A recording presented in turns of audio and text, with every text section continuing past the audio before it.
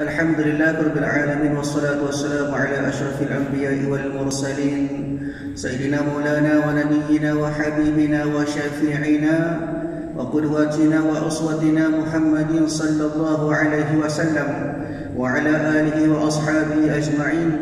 اللهم فقهنا في الدين وافتح علينا فتوح العارفين واجعل أعمالنا خالصة لوجهك الكريم يا أرحم الراحمين. اللهم افتح علينا حكمتك وانشر علينا من خزائن رحمتك يا أرحم الراحمين. رب اشرح لي صدري ويسر لي أمري واحلل عقدة من لساني يفقه قولي والحمد لله رب العالمين. أما بعد الحمد لله pertama dan selamanya marilah sama-sama. Kita panjatkan setinggi-tinggi kesyukuran kita kehadrat Allah Subhanahu wa taala. Kerana pada malam ini Allah taala masih lagi memberikan kesempatan kepada kita. Diberikan oleh Allah Subhanahu wa taala untuk kita berada dalam satu bulan yang mulia. Iaitulah bulan Rabiul Awal bulan yang merupakan bulan kelahiran baginda junjungan besar Nabi Muhammad sallallahu alaihi wa alihi wa sahbihi wasallam. Alhamdulillah syukur kita kepada Allah juga atas sebab Allah taala menjadikan kita sekalian pada hari ini sebagai umat Nabi kita Nabi Muhammad sallallahu alaihi wasallam. Umat yang terpilih berbanding dengan umat-umat yang lain bahkan kata Nabi Musa alaihi wasallam kalaulah boleh dipilih untuk aku lahir ataupun aku jadi umat mana-mana umat siapa-siapa maka nak cari kata Nabi Musa aku nak jadi umat Nabi Muhammad lagi walaupun dia seorang Nabi dah seorang Rasul tapi atas sebab nak memuliakan umat Nabi Muhammad maka Nabi Musa kata dia lebih suka kalau dia dilahirkan sebagai umat Nabi Muhammad Nah, hanya mulianya Nabi kita Nabi Muhammad sallallahu alaihi wasallam. Atas sebab itu juga Allah Taala telah memuliakan Nabi Disebut dalam Quran surah Al-Anbiya Allah Taala kata qala Allah Taala Bismillahirrahmanirrahim. Wa ma arsalnaka illa rahmatan lil alamin kata Allah. Maka sesungguhnya jadalah kami iaitu Allah Taala utuskan engkau wahai Nabi Muhammad. Kecuali untuk menjadi rahmat bagi sekalian alam. Diturunkan Nabi kata Nabi Muhammad sebagai satu rahmat dengan adanya Nabi Muhammad, maka rahmat turun berganda-ganda kepada kita sebagai umat, sebagai makhluk yang ada pada masa ini. Start daripada zaman Nabi Muhammad hinggalah kini, maka dimuliakan oleh Allah Ta'ala dengan diturunkan berbagai rahmat. Ha, di maknanya Muhammad, Nabi Muhammad itu sebagai pencetus kepada rahmat. Mana kalau Nabi Muhammad tak ada, Nabi Muhammad tidak diturunkan kepada kita, maka nescaya tiadalah rahmat bagi kita. Sebab itulah syukur kita kepada kepada Allah Taala atas sebab Nabi Muhammad maka diberi rahmat kepada kita. Rahmat antara kita kasih sayang sama-sama kita, rahmat boleh buat amal, rahmat boleh mengenal Allah Subhanahu wa taala, rahmat boleh buat amal ibadat, rahmat boleh mengaji, boleh baca, boleh eh, boleh buat amal-amal kebaikan, maka semua itu atas rahmat berpunca daripada Nabi kita Nabi Muhammad sallallahu alaihi wasallam. Ha ni, ayatnya bahawa Allah Taala mulia hingga kan berkali-kali Allah Taala sebut dalam Quran. Bahkan sebab itulah Allah Taala juga memberi arahan kepada kita untuk kita taat kepada Nabi. Ha ni Allah Taala pesan, Allah Taala ajar kepada kita supaya kita taat kepada Nabi terutama Nabi Muhammad sallallahu alaihi wasallam. Sebab apa? Sebab Nabi Muhammad ni merupakan khairul makhluqat, sebaik-baik makhluk tak ada. Ha, dia habis habis kata riti makhluk kita semua berlaku tak ada nak lawan dengan kehebatan kemuliaan bagi Nabi kita Nabi Muhammad sallallahu alaihi wasallam.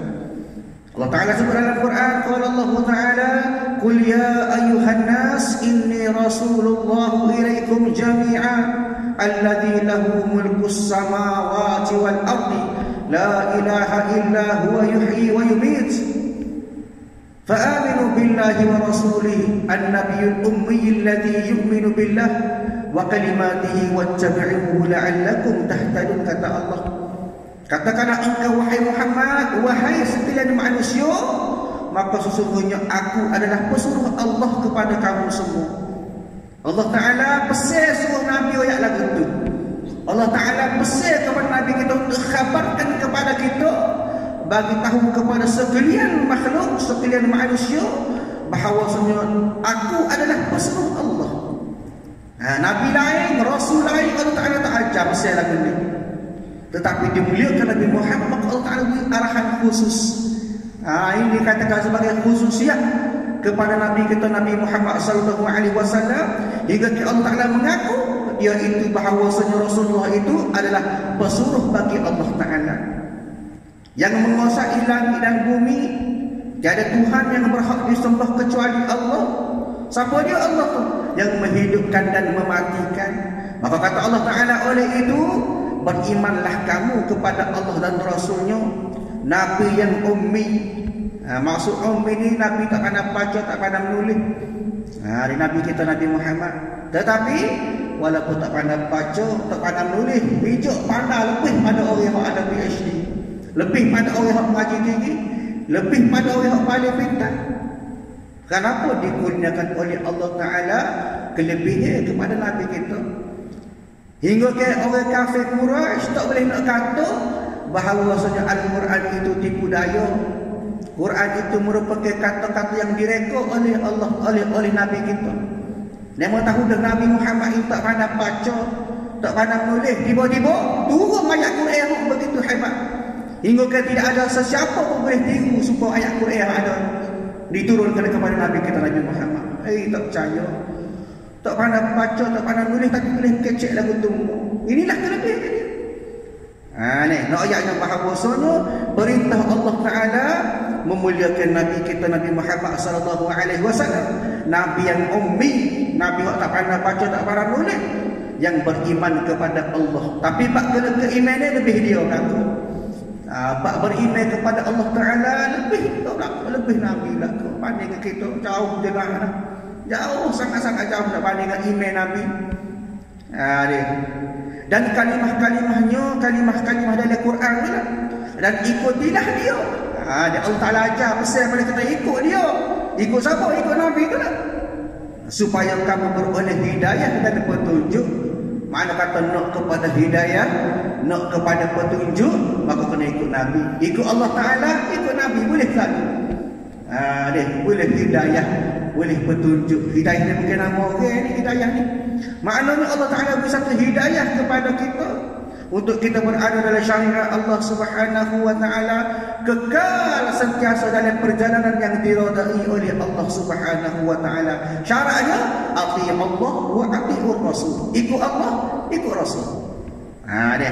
Maka cara dia nak boleh hidayah, nak boleh petunjuk syaratnya ikut Allah dan ikut Rasul. Nak ayatnya diberikan gambaran oleh Allah Taala betapa kemuliaan Nabi kita Nabi Muhammad sallallahu alaihi wasallam hingga diagung-agungkan oleh Allah Taala disebut dalam Quran berkali-kali layaknya tidak ada nabi rasul lain yang lebih mulia daripada nabi kita Nabi Muhammad sallallahu alaihi wasallam sebab itulah waktu yang dirahmati oleh Allah Subhanahu wa taala noyak kepada kita di sini bahawa sunyo kelebihan-kelebihan bagi orang-orang yang rajin selawat kepada Nabi kita Nabi Muhammad sallallahu alaihi wasallam.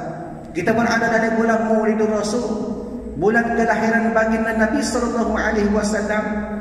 Ha, Dan salah satu cara ataupun petanda kita kasih kepada sesuatu, kita kasih kita sayang kepada seseorang, kita sebut sama. Ha, ni, kita sayang kerja semua, sebut, sebut semacam. Ha, sebut pahmata, sebut duk semata, sebut. Begitu juga Rasulullah sallallahu alaihi wasallam. Bagaimanakah orang-orang yang rajin selawat kepada Nabi? Maka Nabi kata orang ini ya yang kasih kepada aku.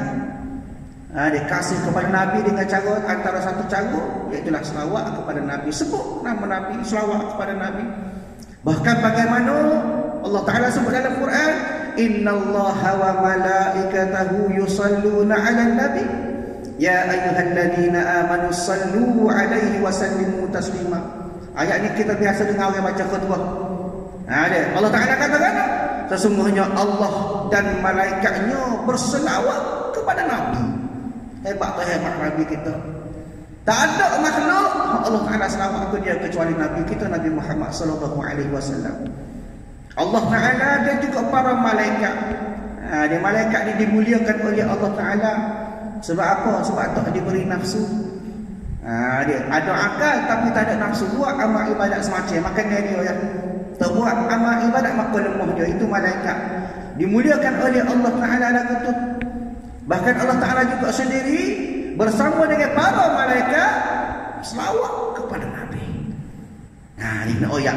Tak ada nabi lain, rasul lain, makhluk lain tak ada kecuali Nabi kita Nabi Muhammad sallallahu alaihi wasallam je hak mana Allah dengan malaikat selawat kepada dia.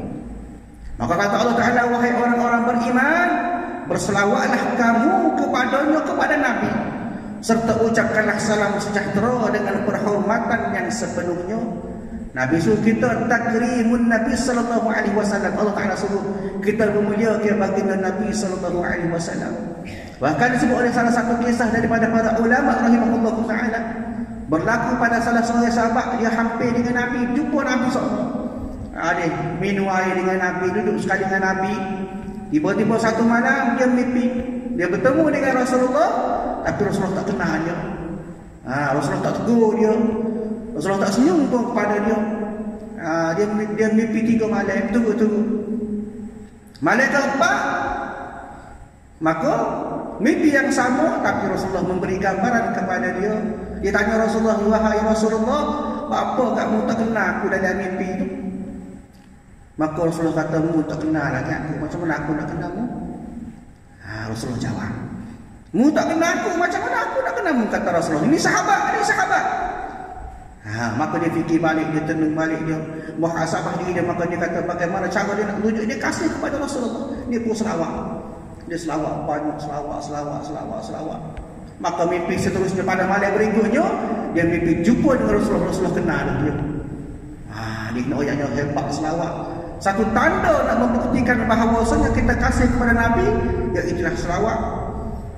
Ha, dia bahkan antara disebut dalam hadis Nabi sallallahu alaihi wasallam Disebut oleh Abdullah bin Amr radhiyallahu anhu bahawasanya satu ketika Nabi Muhammad sallallahu alaihi wasallam bersabda fa innahu man shalla ala salatan sallallahu alaiha biha asyara Nabi kata sesungguhnya barang siapa berselawat kepadaku siapa dia raja selawat ke Nabi siapa dia raja baca selawat kepada Nabi kata Nabi walau salatan sekali selawat ya Maka kata dia, kata Nabi wasallam, Allah Taala akan berselawat ke atasnya dengan 10 kali selawat.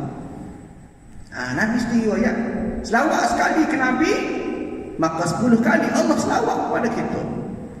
Ha ni, tu sekali baru. Pak kalau kita selawat ada banyak kali, berkali-kali, beratus-ratus kali, berpuluh-puluh kali, maka lebih-lebih lagi digantung ke sepuluh. Dengan ibarat kata Allah Ta'ala selawat, kita puluk sepuluh kali gantung. Ha, ni nak ayatnya selawat ni besar fadilah dia. Ni kadang-kadang kita malah, nak selawat pun malah. Bukan tempat kita, tempat lain lah. Tempat kita Alhamdulillah kaji belakang selawat. Ha, ni nak suruh aja selawat, biar gaji selawat. Sekali selawat kepada Nabi, Allah Ta'ala selawat sepuluh kali puluk pada kita. Ha ni. Begitu juga hadis yang lain Nabi bersabda, "Man shalla alayya salatan wahidah, sallallahu alaihi ashara salawatin wa hattat anhu ashara khati'atan khati'atin rafa'tu lahu ashara darajat." Nabi sebut satu hadis, kata Nabi sallallahu alaihi wasallam, barang siapa berselawat kepadaku sekali, maka nescaya Allah Ta'ala berselawat kepada 10 kali selawat menghapus segalanya menghapus daripada dia itu 10 dosa dan mengangkat darjat sebanyak 10 kali darjat. Ha, ini kelebihan. Fadilah ala salawatu ala nabi. Kelebihan Allah yang selawat kepada nabi nabi sendiri yang siapa selawat 10 kali Allah selawat kepada dia semula digugurkan 10 daripada dosa dia dia diangkat darjat 10 kali darjat Ha, dia benda kelebihan ni kalau boleh kita amal lah. Ha, dia bukannya banyak selawat ni. Ha, dia boleh-boleh duduk saja. Ha, daripada kita duduk mayaji tu. Ha, kedai kopi, pagi pagi nak. Kita tempat kita tempat lain. Noyaknya banyak ke selawat. Selawat, selawat. Jadikan sebagai zikir kita. Jadikan sebagai rutin kita sentiasa berselawat kepada Nabi wasallam. Ha ni. Kalau boleh jadikan sebagai satu wirid kita lepas maya buat sewaktu buat seratus kali selawat kata ulama rahimahullah ta'ala disebut juga oleh para sahabat rahimahullah ta'ala kepada kita maka kata mereka bahawasanya sekuat-kuat selawat itulah seratus kali sehari baru Nabi kenal kita. Ha, ada seratus kali saya kau boleh biasa apa seratus kali sehari. Eh, dia dalam semaya berapa kali dah? Dalam doa berapa kali dah? Ha, ni siapa pula buat sebagai budi kita biar lebih seratus kali. Ha, dia kalau tulis satu kali seribu kali tak apa dah. Berasa malah kat 10 10 ribu kali tak pandai berhenti lah. Uh, dia ada malah tu. Layaknya dia ngaji selawat banyak ke selawat ganda ke selawat kita sebagai tanda kita ingat kita kasih kepada Nabi sallallahu alaihi wasallam. Ya ni. Layaknya bahawasanya tanda kita kasih ke Nabi. Tanda kita ingat kepada Nabi sallallahu alaihi wasallam. Maka tuan-tuan dirahmati oleh Allah Subhanahu wa taala cara lain kalau tadi kita sebut berkenaan dengan selawat, maka cara lain tanda kita ingat ke Nabi ialah kita buat sunnah-sunnah dia. Ha, dia sunnah-sunnah benda-benda yang Nabi buat kita tiru. Ha, dia bila sebut sunnah maka tiga. Ha, dia tiga apa dia? Yang pertama af'al perbuatan Nabi. Cara Nabi Nabi makan lagu mana Nabi minum lagu mana. Ha, dia, Nabi berjalan lagu mana itu cara Nabi dipanggil sebagai af'al. Ha, Yang kedua sunnah Nabi juga dikatakan sebagai akwal per, percakapan Nabi. Lagu mana zikir Nabi, lagu mana cara kecek Nabi.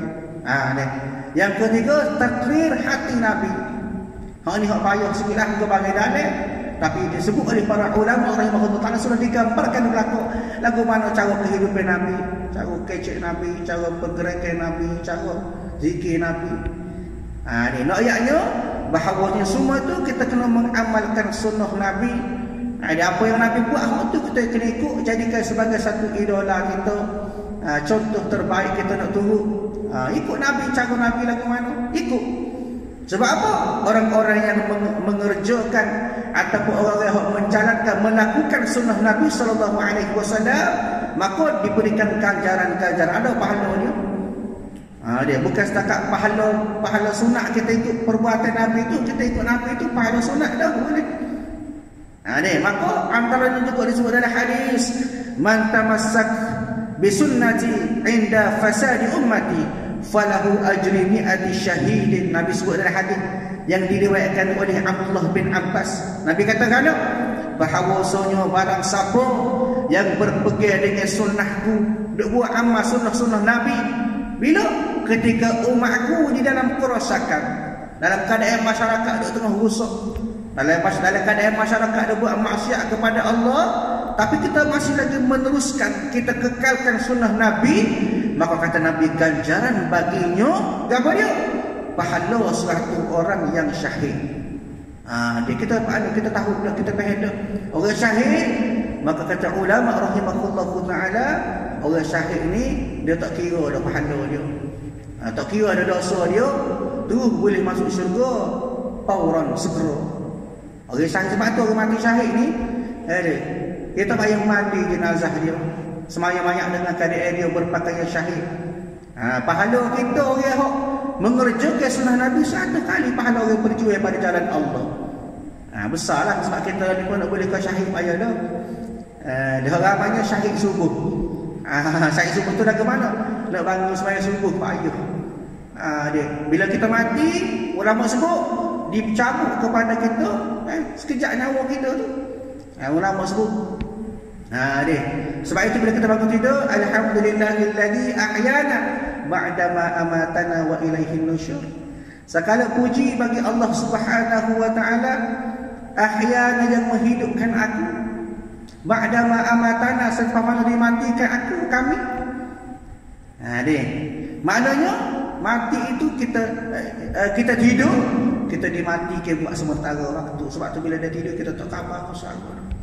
Nak ayatnya, hak ada ramai lah betul lah. Tak, tak khabar bangun semaya subuh, tak apa khabar curuh. Ha. Ha, ini satu perjuangan juga. Nak kepada supaya kita tidak syahid subuh. Ha, ni. Nak ayatnya, pahala orang buat sunnah-sunnah Nabi. Pahala orang yang mengerjakan segala perlakuan-perlakuan Nabi dia turut Nabi. Orang-orang yang melakukan sunnah Nabi pada dia tu apa dia? Seratus pahala orang syahid. Besar pahala dia. Maka nak biar kita rajin buat sunnah-sunnah Nabi. Ha, dia begitu juga hadis daripada Abu Hurairah radhiyallahu anhu sebut juga Man tamassaka bi sunnati 'inda fasadi ummati falahu ajrun mi'ati syahid. Supaya juga. Ha, dia maknanya hadis yang lain lafaz yang lebih kurang sama. Noyak bahawasanya pahala orang buat sunnah-sunnah Nabi pada dia tu selalu pahala ganjaran bagi seumpama orang yang syahid. Besar pahala dia. Sebab itu kena rajin. Ha, dia belajar kita mengaji lagu pada cara cara Nabi. Nabi makan lagu pada Nabi tidur macam mana sunnah. Ha, ni bila buat sunnah maka pahala dia besar. Seratus kali soal pahala syahid. Noyaknya Nabi pun begitu menggalakkan al-haddu ala sunnat menggalakkan ke atas kita ni pakat buat benda-benda sunnah Nabi sallallahu alaihi wasallam. Jangan agak aku boleh boleh Rabiul Awal sajalah. Ni boleh Rabiul Awal lagi selawat, pas selawat, selawat bagus. Kadang-kadang dia pada orang selawat. Tapi bila selesai habis saja boleh Maulid Rasul, boleh Rabiul Awal habis, maka kita pun habis juga. Tak tahu lah mana sunnah, tak tahu mana. Daripada sunnah jadi penuh. Ha, itu masalah dia. Nak ayatnya, amalkan sunnah tak kira masa buat semua. Ha, dia. Dan ulama sebut, walaupun hadis Abu sebut tadi hadis da'if. Ha, dia hadis da'if. Tapi kita boleh buat, kita boleh amal. Sebagai satu cara, kita nak menjaga diri kita pada akhir zaman. Kita faham, akhir zaman banyak sangat dugaan dia. Banyak cabaran-cabaran dia, benda-benda baru menyebabkan kadang-kadang kita makin hari makin jauh dengan Nabi sallallahu alaihi wasallam. Pohon jauh pohon tak ingat ke Nabi. Ditipu hidup-hidup kita. Ha, dengan benda-benda lala atas dunia. Ha, dia. Maka sebab itulah ulama hadis sebut bahawasanya walaupun hadis ini dhaif kita kena kuat kena tahan tingkatkan pahala-pahala untuk kita dapat pahala-pahala sunnah bila mana kita buat sunnah Rasulullah sallallahu alaihi wasallam sebab apa? Sebab yang pertama kita nak tengok bahawasanya hadis ini adalah hadis yang mana Nabi nak pesan kepada kita dalam keadaan Nabi tahu dah. Esok-esok akan berlaku kerusakan pada umat. Sebab itu sama Nabi Nabi sebut dah. Bila berlaku rusaknya umat, maka siapa buat buat sunnah, buat sunnah aku, maka boleh pahala satu syak. Nabi tahu dah. Dulu lagi Nabi tahu dah. Ha, di ayatnya kita Orang-orang ataupun mereka golongan yang berada pada seperti yang disebut oleh Nabi kerosakan umat berlakunya rusuk kerosakan manusia banyak maksiat maksiat berleluasa maka dalam keadaan ini kita kena memperkuatkan amalan-amalan sunnah kita Nah, yang kedua supaya kita tak lain tak bukan kita jadikan Al-Quran dan As-Sunnah hadis Nabi sebagai panduan kita. Nah, dia pergi pada Quran hadis disokong oleh ijma ulama qiyas ulama Supaya apa? Supaya kita tidak jauh lagi daripada landasan yang Allah Ta'ala nak. Ha, ni.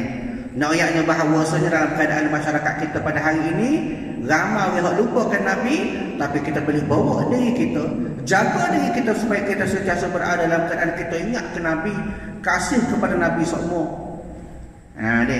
Tuan-tuan, puan-puan itu oleh Allah Subhanahu Wa Ta'ala. Jadi pada malam ini juga aku nak cerita sikit lebih kurang bagaimana perjalanan kehidupan Nabi. Ha, dia bagaimana keadaan Nabi daripada awal dilahirkan pada 12 Rabiul Awal tahun gajah. Sebab apa dinamakan sebagai tahun gajah? Karena kata ulama rahimahullah taala pada tahun itu berlakunya peperangan ataupun kota Mekah diserang oleh tentera bergajah Ha, dia askar-askar tentera-tentera yang bergajah bawa gajah berlaku. Diceritakan oleh Allah Subhanahu wa taala dalam surah Al-Fil. Kalau kita tengok surah Al-Fil ada digambarkan oleh Allah taala gambaran berlakunya peperangan tersebut. Yang mana tentera-tentera bergajah ini diketuai oleh seorang raja yang bernama Raja Abraha. Ha, dia masa tu pakai sihir bawa gajah. Tujuan apa? Nak merosakkan Baitullahil Haram. Nak pergi peruntuh Kaabah. Ha, dia maka pada berlaku berlaku pada tahun itulah dilahirnya Nabi kita Nabi Muhammad sallallahu alaihi wasallam. Masuk umur Nabi 9 tahun, mak dia meninggal dunia. Sayyidina Aminah. Ha, dia meninggal dunia. Ha, dia. Kemudian masuk 8 tahun umur Nabi, datuk Nabi pula Abdul Muttalib meninggal pula. Ha, dia. Kemudian Nabi berdagang ke Syria pada umur 12 tahun. Masuk umur 25 uh, pergi berdagang di Syria juga tapi bersama dengan pasukan-pasukan pedagang yang diketuai oleh Sayyidatina Khadijah bakal isteri Nabi. Umur 25 juga Nabi menikah. Ha, Nabi kahwin umur 25. Jadi kita kalau nak ikut sunnah umur 25 kita kahwin lah. Ha, dia. Kemudian anak pertama anak sulung Nabi Al-Qasim ha, nama Qasim anak sulung Nabi dilahirkan ketika Nabi berumur 28 tahun masuk umur 30 tahun anak kedua Nabi Sayyidatina Zainab dilahirkan pula anak ketiga Nabi lahir masa Nabi umur 33 Ruqayyah ha, nama dia Ruqayyah umur 33 lahirlah Ruqayyah umur 34 Nabi umur 34 maka lahirnya Ummu Kalthum ha, anak Nabi Ummu Kalthum yang keempat dilahir pada Nabi umur 34 tahun. Kemudian pada 30 pada Nabi umur 35 tahun berlakunya peristiwa yang boleh menyebabkan Kaabah tu bangunan Kaabah tu rosak.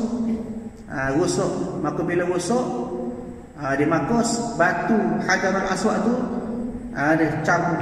Ha, rosaklah penuhlah. Siaplah buat ahok baru, baik-baik buat ahok baru, tiba-tiba jadi pakat balah siapa dia nak letak batu hajarul aswad ha, berebut pakat nak letak. Ha, kau ni kau bilang ni kata aku lah. Aku pokok mulia belakang hebat belakang aku suruh aku lah. Kalau tu kata tak boleh buat aku lah bila berebut-berebut-berebut maka pada ketika itu pakat buat sepakat mengatakan bahawasanya orang mula-mula masuk masuk masjidil haram maka orang itu jadi hakim dia Ha dia. Orang mula-mula masuk Masjidil Haram, orang tu jadi penentu nak buat lagu mana. Nak suruh lagu mana ataupun dia sendiri nak akak. Maka Nabi alaihi wasallam atas bijaksana Nabi. Maka Nabi lah kita ketika orang mula-mula masuk dalam masjid. Bila masuk Nabi, maka orang pakai ayat, oh tak ada orang lain. Orang ni lah orang paling layak. Nabi Muhammad sallallahu alaihi wasallam paling layak. Kenapa? Kerana pada ketika itu pun sebelum tu lagi Nabi sudah dikenal sebagai Al-Amin, orang amanah. Ha ni, mana kata bila Nabi royak tu aja menipu, tu aja melawak, jujur sama Nabi. Maka orang kata tak ada pilihan lain. Betul comel dah. Ha, Nabi Muhammad dilatih sebagai Allah yang berhak menentukan siapakah yang nak meletakkan batu Hajar al-Aswad tadi. Maka Nabi berbagi pendapat beginilah. Oleh kerana kita ni ramai kabilah-kabilah. Maka Nabi ambil supaya dia Nabi bentang supaya dia. Buka supaya Nabi tak batu Hajar al-Aswad maka pakak tak ramai-ramai panggil ketua-ketua belakang kabilah-kabilah tadi. Pergi wujud-wujud supaya Nabi ketuk dekat dengan Kaabah. Sini nak ayat bahawa sebenarnya Nabi kita orang bijak. Ha dia. Maknanya tak balas lah sebab apa?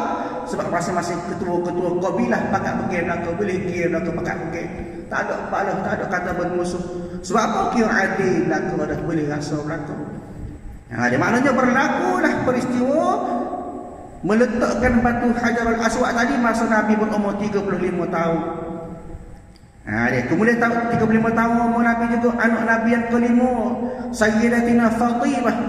Ha, dilahirkan pula pada umur 35. Ha dia. Kemudian pada lepas pada tu dilahirkan pula Abdullah. Anak Nabi juga nama Abdullah. Ha dia. Walaupun ayah Nabi pun nama Abdullah tu anak dia pada juga orang nama Abdullah. Ha, dia kalau boleh letak nama Abdullah lah.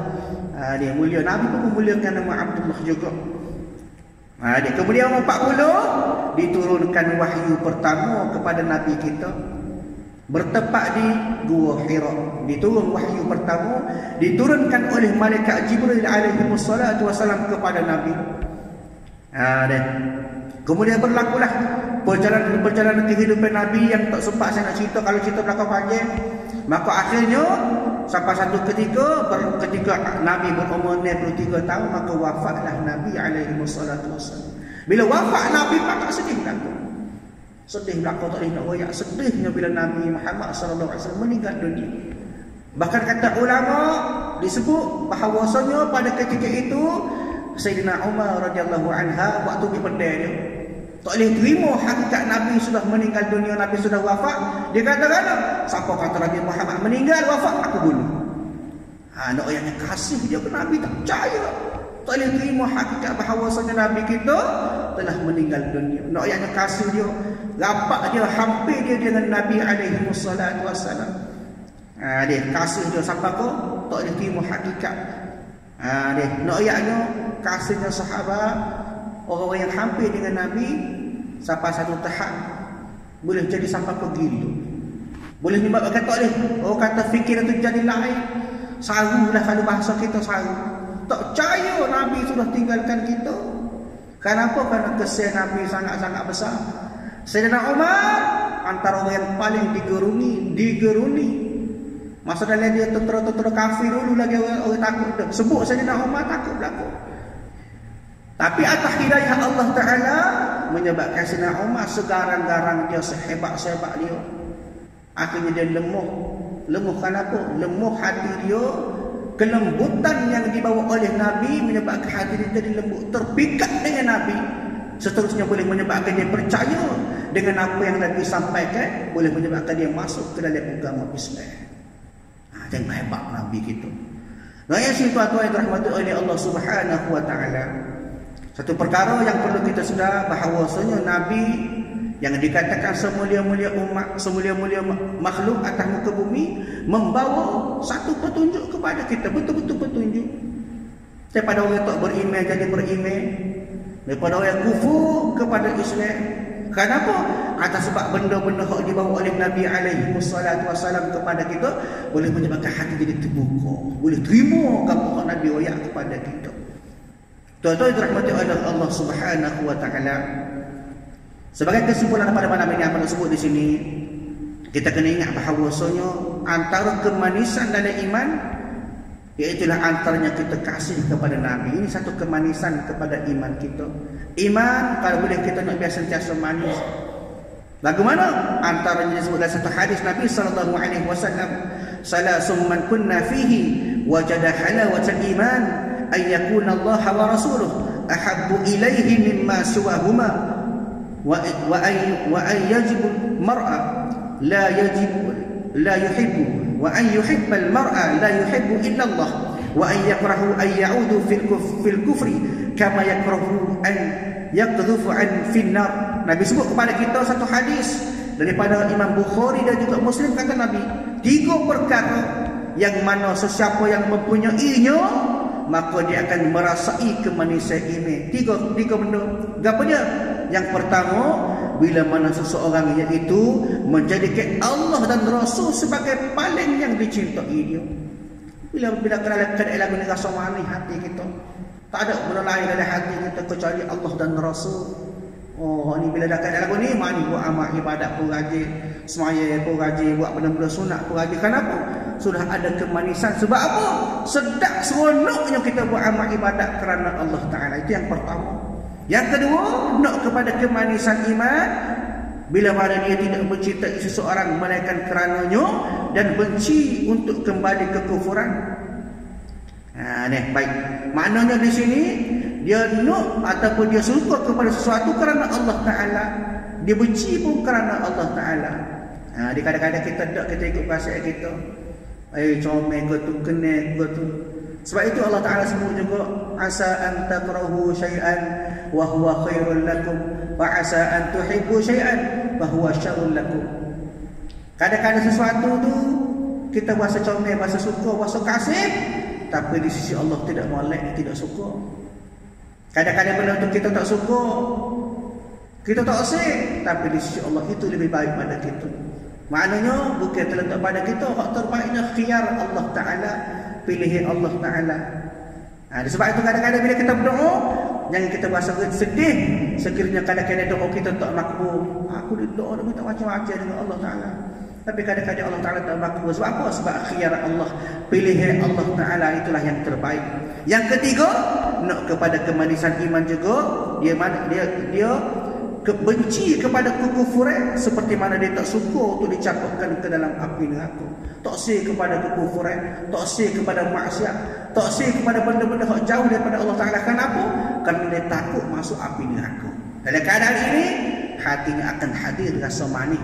Manisnya iman dia, manisnya rasa ibadat dia, manisnya kehidupan dia di sisi Allah Subhanahu wa taala insyaallah. Tuan-tuan puan-puan dirahmati oleh Allah Subhanahu wa taala, mudah-mudahan perkongsian saya pada malam ini sedikit sebanyak memberi satu gambaran kepada kita untuk kita sudah sekasih kepada nabi kita ha, dikasih kepada banyak keselawat dalam kehidupan kita setiap hari setiap masa.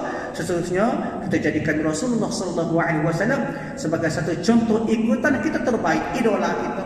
Ikut Nabi berlaku dan mudah-mudahan kehidupan kita semakin hari semakin baik dan kita sentiasa berada dalam redha Allah Subhanahu wa taala insya-Allah. Tuan-tuan yang dirahmati oleh Allah Subhanahu wa taala rasa sangat itulah pada malam ini. Insya-Allah kita sambung kuliah kita pada masa akan datang insya-Allah. Aku lu qouli hadza astaghfirullahal azim li wa lakum. Assalamualaikum warahmatullahi wabarakatuh. A'udzubillahi minasyaitonir rajim. Bismillahirrahmanirrahim. Alhamdulillahirabbil alamin. Wassalatu wassalamu ala asyrafil anbiya'i wal mursalin wa ala alihi wa ashabihi ajma'in. Allahumma salli wa sallim على سيدنا محمد النبي الأمي وعلى آله وأصحابه أجمعين. اللهم إنا نسألك رضاك والجنة ونعوذ بك من سخطك والنار. اللهم إنك عفو كريم تحب العفو فاعف عنا وعن والدينا وعن جميع المسلمين والمسلمات والمؤمنين والمؤمنات برحمتك يا أرحم الراحمين. ربنا آتنا في الدنيا حسنة وفي الآخرة حسنة وقنا عذاب النار. وصلى الله على سيدنا محمد وعلى آله وأصحابه أجمعين. والحمد لله رب العالمين.